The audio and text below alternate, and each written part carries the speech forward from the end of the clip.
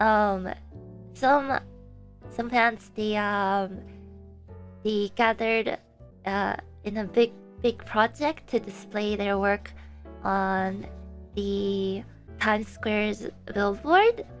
I know you can check out some of their artworks that was displayed on it with the hashtag Taco Times Square.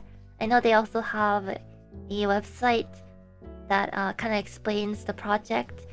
I was I was really really um, happy to see the community come together and put together something so special for me.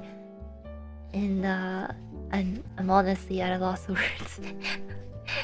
I sometimes say this, but if I had, I feel like I saved.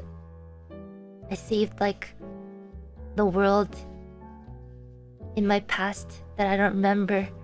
That I deserve such such a blessed. Uh, how to explain it. uh, I don't. I, I really don't deserve the kindness that you guys give me. um. Uh. Yeah. Ah. okay. I'm fine. I'm fine. I'm fine.